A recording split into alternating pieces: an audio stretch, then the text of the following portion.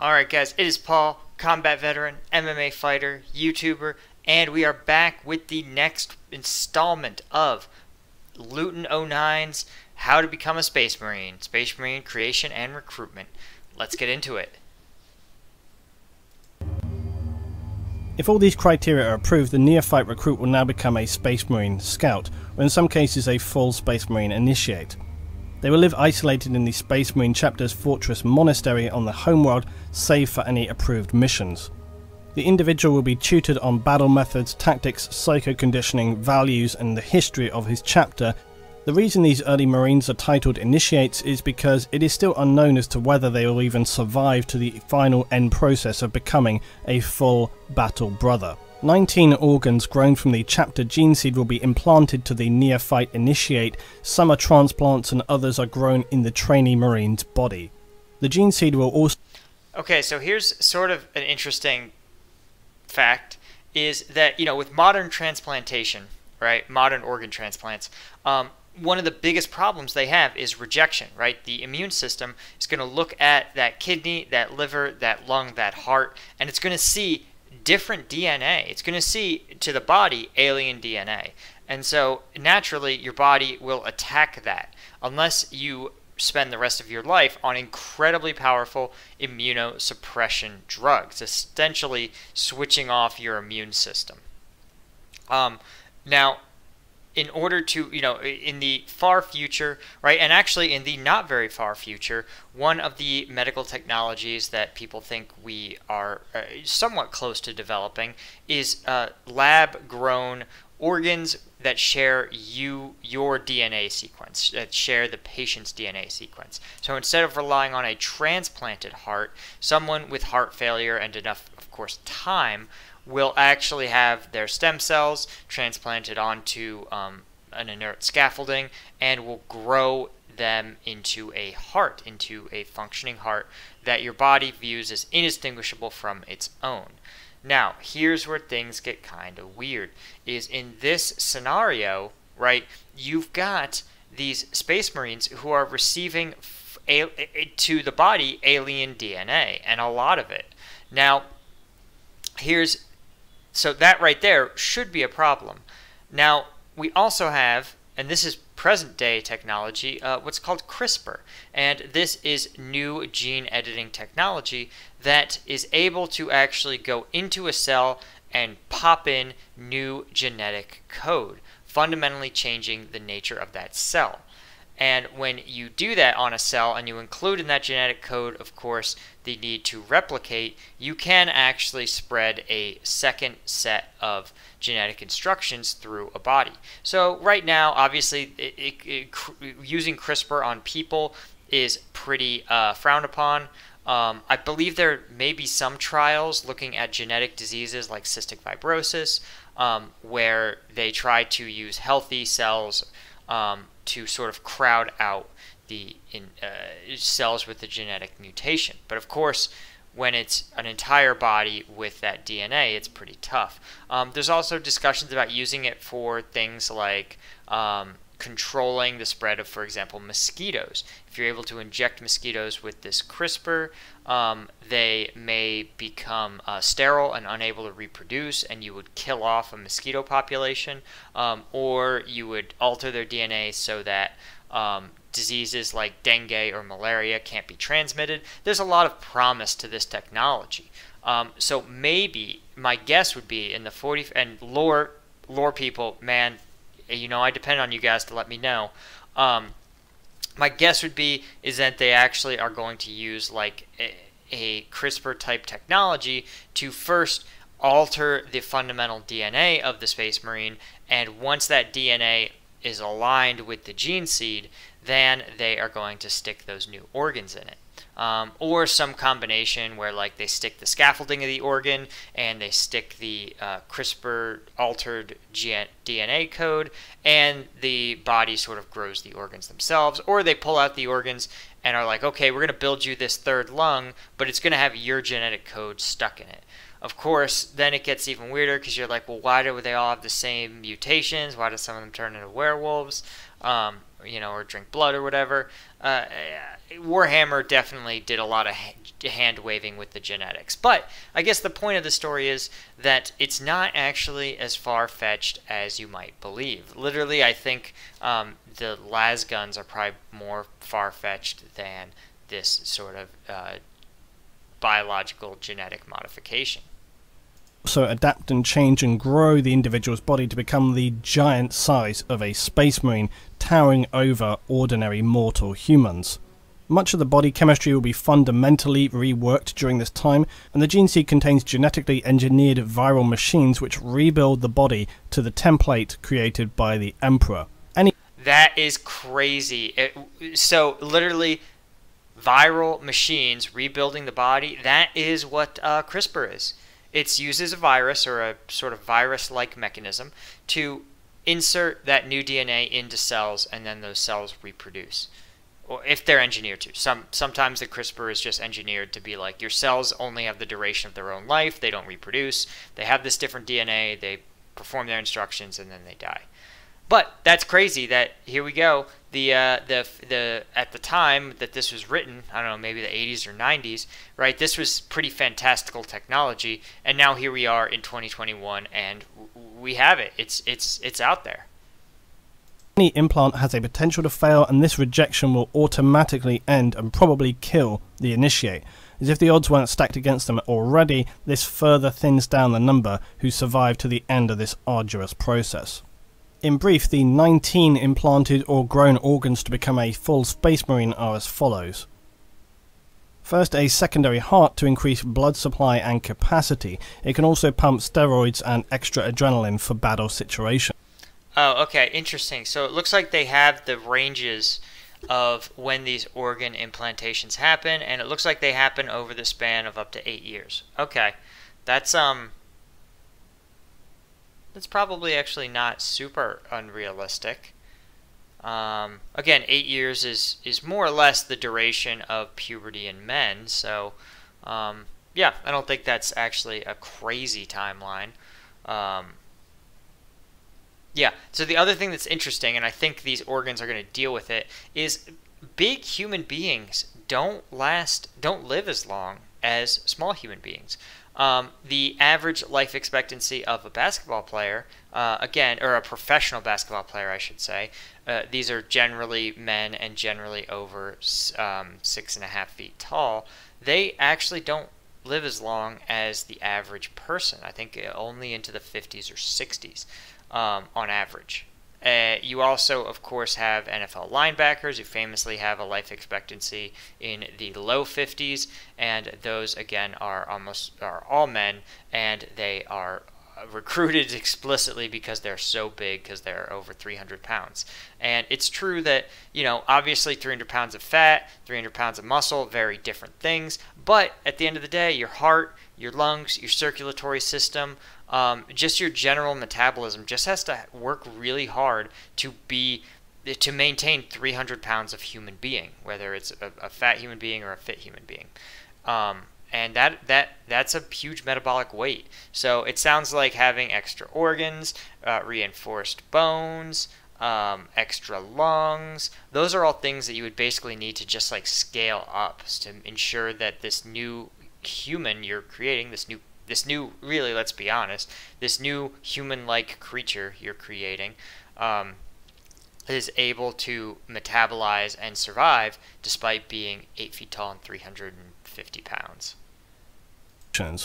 The Ossmodula or Ironheart, this strengthens and grows the skeleton of a space marine so that his bones will contain a ceramic based mineral which is added to an initiate's diet.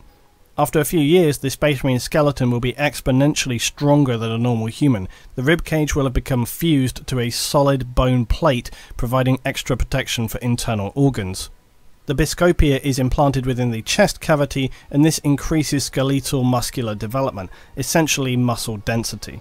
The Haemastamen assists in carrying oxygen and nutrients more efficiently throughout the blood. It also assists in regulating the second and third implants. The Larraman's organ is also placed in the chest and manufactures synthetic Larraman cells. These serve like ordinary human blood platelets but faster and more efficient. When a Space Marine is wounded, they form fully healed scar tissue in seconds, preventing hemorrhaging. This ability can make Space Marines appear invincible as they take wound after wound. Anything other than the most catastrophic of injuries is going to leave them still standing. The Catalepsean node is implanted in the back of the cerebrum. It allows Space Marines to avoid the need for sleep, entering them into a form of ongoing coma, allowing their brain the ability to systematically recharge by individual parts at a time. This enables them to stay on duty for hundreds of hours. Ah, okay. Yeah, this is this is sort of answering that question. I mean, again, I think in the lore, right, these are meant to make them more battle ready. Um, but in practical terms, a lot of these organs would, I imagine, be necessary in order to have a again a 400 pound person uh, live live you know an unlimited number of years, um, but at least live long enough that their body doesn't like start to break down faster than a normal human's. Um, it is also interesting. I just want to point out that you know they have to grow uh, you know, a Space Marine isn't just like the same regular frame, right? They grow taller, they grow wider. Um, so it's interesting that they have this stuff that makes their bones harder. Um, I again, I'm imagining that that in the universe, um, they have to do something to allow the bones to continue to grow. And in regular human beings, those are called growth plates, right? They're soft parts of the bone that continue to expand uh, through the puberty process and then harden once you've reached your adult size, whatever that is. Um, so you would have to actually somehow re-incentivize those to grow. Um, which is which is I, I'm not sure. I think HGH doesn't do that. I think it only does soft tissues, but I could be wrong. I could be wrong, right? There's the classic like big head HGH look. Um, so maybe maybe those exaggerated facial features are face bones expanding. The seventh implant is the preomnor. It functions as a decontamination chamber above the stomach and will analyze ingested materials, neutralizing any organic or inorganic toxins. It also enables the Astartes to eat materials for sustenance that would kill ordinary humans. The Omophagea is implanted in the upper spinal cord. It absorbs information through ingested DNA and RNA related to memories. The purpose is to gain tactical or survival information by eating animals or life forms indigenous on a planet. In addition to a sec. Yeah, okay, that part's uh, not super re realistic. Um, I don't even know how that would work even, under the loosest, like, even conceptually, right? Like, the only way I could think about it is it is if it functioned like a tongue, right? The way that human beings, you know, the reason we've evolved things taste good or things taste bad is as a means of detecting uh, toxic substances before we ingest them. Um, but that's not reading things at a genetic level. That's just tasting them um, and having different chemicals bind to different parts of your tongue to tell you, hey, this is sweet, saccharin, this may be good to eat and nutritious. Hey, this is salty, fatty, it may be good to eat. Hey, this tastes like pretty gross, this is probably toxic, you shouldn't ingest it. Second heart, Space Marines also have multi lungs as their ninth implant. Three, in fact. This is to give them extra oxygen absorption in thin air environments. In a toxic environment, their ordinary lungs are shut off to allow the third lung to act as a filter for any necessary toxins. The 10th adaptation is the Occulobe. It's a gene seed adaptation that enhances eyesight along the optic nerves. This gives increased accuracy of vision and increased low light sight ability. Uh, okay. Um all right, real quick, just want to take a sec and before I weigh in on the insanity of the Occulobe, um, guys, be sure to hit like on the video, man. I'm a small channel. I, this really helps me out. It tells the algorithm I'm making good content. Check out the merch store. You can see I'm rocking my Kate, my Units of the Imperium T-shirt um, that you guys can get at my merch store. Um, there's the other shirt, of course, that the artist did. Uh, I've got the mugs. Um, also, be sure to follow my Instagram, second channel, Patreon. Uh, links are all down below. Okay, got away on this Occulobe thing. So, okay, low light vision, right? we we use vision enhancement, right? Vision can be enhanced only through a couple of ways, right? And one is to absorb more light. Um, that is simple. Your pupils dilate, right? In, in, humans, right, our pupils get larger. We take in more light, and in a low light environment, it enables us to see better, right? This is why, of course, when you're in your room and you turn off the lights abruptly, it feels very dark. But when you wake up in the middle of the night in the same room, often you can see a little bit, and that's a function of your pupils dilating. Um, in the military, they actually teach us that if you're navigating at night and you see a car or the bright light of a jet or a headlight or something else, that you actually should cover one eye as it passes so that you don't lose your night vision entirely. And then as it passes, you at least take it off and you have at least one eye that hasn't, um, that's, whose pupil hasn't retracted. Uh, that said, you would not use the optic nerve to do it. You uh, could increase the photosensitivity of the eye itself. Maybe that's what they mean. Um, or, of course, you could make the eyes bigger, better able to dilate. Um, it'd be interesting if, you know, imagine a space marine whose eyes are entirely black pupils in order, you know, in a low light environment. That would be pretty creepy and kind of cool. Um, yeah, the other ways we do night vision um, is to detect longer. We, we don't get more light by grabbing more of the light that we see, but we actually start to reach for light on the other ends of the visual spectrum. So on one hand, we have like thermal vision, right? The ability to see uh, heat signatures um, in addition to regular signatures. Um, and that can be really effective at night. And in the other side, we have um, the uh, oh my gosh uh, this is infrared vision. This is probably like ultraviolet like trying to detect light on the far pull in light sources or energy sources from the far side of the spectrum right? The kind of blue side of the spectrum so to speak. Um, I don't know how mature this technology is but definitely the infrared vision enhancement um, is is huge right? So again, I don't know if I'm sure in fantasy Warhammer universe this all works, um, but that's how it would probably have to work in the real world. Lyman's ear is not simply better for more accurate hearing, it enables Marines to resist ordinary human dizziness and for them to be able to filter out white noise and sonic attacks. The Sus-an membrane allows a Space Marine to enter a state of suspended animation. This can enable mortally wounded Marines to survive until help or an apothecary's arrival. This hibernation period has been known to be able to last for anything as long as half a century. Melanochrome alters. Yeah, that would. That's that's more than a membrane, man. That I. I don't even know what that would look like. I mean, even I couldn't even theorize as to how that would work. Uh, maybe like somehow secreting like a resin that just that just it somehow like freezes everything in place. Um, sort of like the dinosaurs encoded in amber, maybe. Um, or just like a, a, an exaggerated version of like a bear's hibernation, just like slow metabolism to to, to virtually nothing.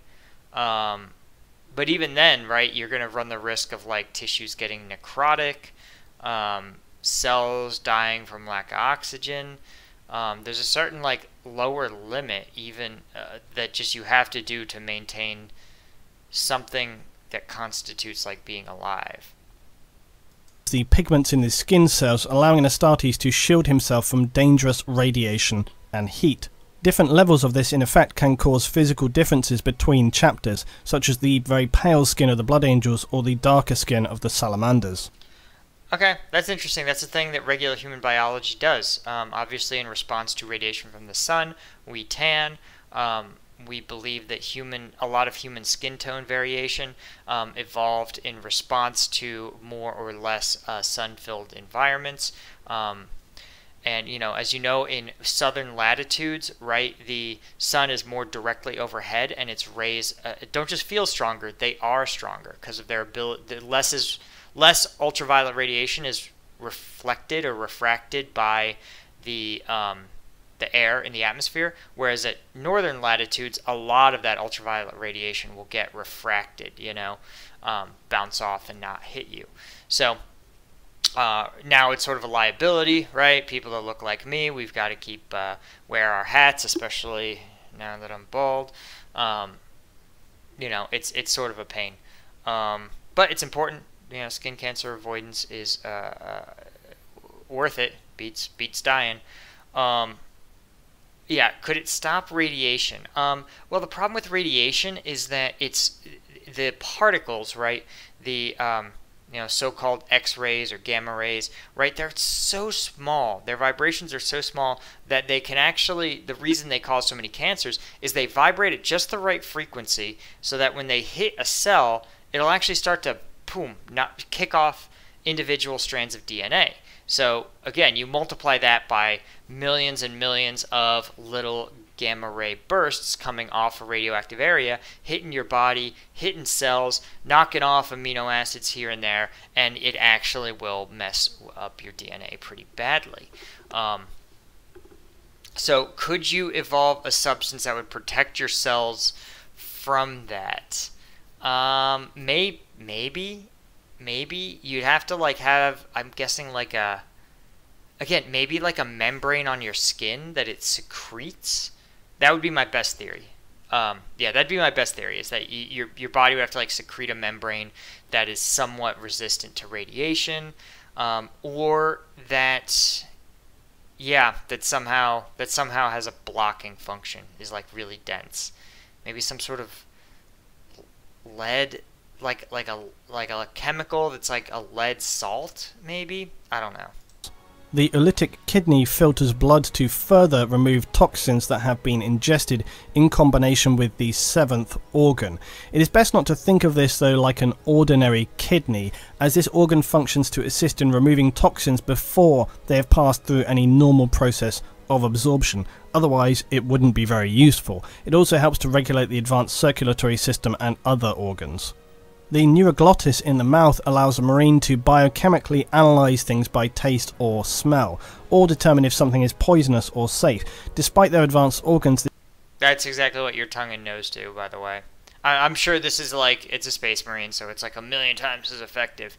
But yeah, that's that's just a super tongue and a super nose. This could still be very useful for a variety of purposes, and it can also enable them to track targets, much like a canine. The mucranoid is implanted in the nervous system and if activated through an external treatment will cause the Astartes skin to secrete a waxy substance. This will cocoon them to protect them in situations of extended suspended animation, even the vacuum of space. Called it. Yep. Just gotta, it, it, yeah, yeah. Secrete a resin, preserve yourself. Um, yeah. Again, I'm sure someone more medically qualified than me could absolutely tell you why this is complete BS. Or other temperature extremes. The Betcher's gland consists of two glands implanted in the mouth. These allow the Astartes to use their saliva as a corrosive acid when consciously activated. This could enable them to corrode bars if they were held captive or remove doors from their hinges. It also can assist them in eating difficult to break down substances. Some marine chapters have found that this organ no longer functions or has become less effective over time. The progenoid glands or the Okay, I'm just going to point out imagine you're a guardsman and you're on a planet and you're eating your like gross rations and then you watch an Astartes like peel the bark off a tree and then they all spit on it and they start chewing on it and just eating it wholesale. You'd be like, what the hell am I watching? You'd lose your damn mind. And also lore experts, can they even do like inorganic stuff? Like could they just take like a rusted chunk of brick and just dissolve it and bite down on it and get, you know, some some sort of sustenance from that at an atomic level? The gene seeds are the critical organs of a space marine. They're implanted into the neck and chest cavity and serve as reproductive glands to allow their DNA to be collected upon death and safeguard the continuity of the chapter. Apothecaries of a Space Marine chapter will cultivate germ cells from the progenoid glands to create the 19 organs of a Space Marine, or some of them because some are grown within the Space Marine themselves. The final organ is the black carapace, otherwise called the interface. This material is implanted under the skin of the chest with the now shell-like ribcage. Fibered bundles then grow inward and interlink with the Space Marine's nervous system. Points for these bundles are pre-cut by apothecaries and form neural connection points. The function of these are to allow a Space Marine to interface with the heavy power armor, or as some would have you believe, the armor's machine spirit. These connections enables faster reaction and maneuverability, without this Space Marines would lumber around very much encumbered by the heavy armor they wear. It's worth remembering that this whole process probably sounds heavily traumatic, but consider that it ideally happens when the young neophyte initiates between the ages of about 10 to 12 years old and should be then completed by age 18. Many are going to suffer critical or multiple organ failure during the process. The penalty, or arguably mercy for this, is usually euthanasia, although conversion to a servitor for the chapter is sometimes an option depending on chapters and their needs. Again, for those families who never see their sons again, in some cases, it's probably for the best. All they need to know is he's serving the Imperium. Now, more recently, since the involvement of Belisarius ah, let's finish this out. Cawl of the Mechanicum, Primaris Marines are a new breed of superhuman Astartes. Under instruction from Roboute Guilliman, Primaris Astartes are only created from the gene seeds of Loyalist Primarchs. They contain three additional organs, and their gene seed is considerably more genetically stable. Guilliman had instructed Cawl to develop these new organs with the goal of creating the Primaris, and their additional organs are the sinew coils, this enables the sinew of a Primaris Astartes to be durametallic, contracting with immense force, gifting them extreme strength and his body further resilience. Alright, that's just weird, man. I was thinking it was going to be like tougher, thicker sinews, and I will say that one of the most common injuries that you see in MMA are these sort of tendon and type injuries, right? Because obviously you have the muscle, which can be very strong, but tendons don't develop in the same way. Like they toughen over time, um, but they don't necessarily get big and strong. But the tendons are what connects that muscle to bone. So they are really, really sometimes surprisingly fragile, even in really high level athletes. So that would make a ton of sense to reinforce those um, that body part. This increased strength will literally enable them to crush the skulls of their enemies with bare hands. The Magnificat, and this small lobe is inserted to the brain cortex, it secretes a hormone to increase the body's growth functions with the goal of also intensifying further functions of the other implanted organs. Apparently, this organ is in fact half of the immortis gland, the god maker gland of the Primarchs. For undisclosed reasons, Cawl was only able to discover the right half of this gland, not the full gland itself. The left half had been fully eradicated from Imperial records by either the Emperor himself or others unknown and third, the Belisarian furnace. This organ lies dormant and connects to both a marine's hearts. In times of immense physical stresses, it expels chemicals simulating combat stimulants, increasing the regrowth of tissue, bone, and muscle. This is a short term use organ and requires time to recharge after using. Okay, wow, that was an insane, wild list of organs of fake organs. Um, yeah, a lot of them seem like again really intense, and uh, I gotta say, um, having listed all of them, I don't think it would be possible to finish transplantation. You're 18 years old. Um, because in a lot of cases, the problem wouldn't be so much biological. I'm sure it's biologically possible, but you're talking about entirely new parts of the brain that need to be rewired to be like, okay, what does a poisonous food taste like when it's in my secondary stomach? Right? What does a good food taste like when it's in my secondary stomach? How does what do I how do I learn when I put a piece of Tyranid in my mouth to to understand its DNA, right? Like what does it feel like? Just like as a person, you know, as a kid, right? We have to spend yeah, our, our tongues are fully developed, you know, in a couple of years, but we have to spend the next, you know, 10 learning the words for uh, different types of food, how they taste, does how to describe that taste. What does that taste mean in context, right? What is taste? What is something that tastes good or bad that I like or don't like? What is the difference between a food that I find unappealing, and something that's toxic. These are things that we have to learn consciously in a lot of cases. So to do that for like four more organs would take years and years and years. Again, they don't have anything else to do. Maybe the Astartes really make a point of training them up as they get these new organs, but it certainly sounds like a huge challenge. Okay, thank you guys for staying all the way till the end. Um, I appreciate it as always. Thank you to everyone who watches, hits the like button, um, weighs in in the comments, um, and of course my Patreon. One, one, one person right now but you know, soon to be more. Um, thank you guys, and I will see you next time.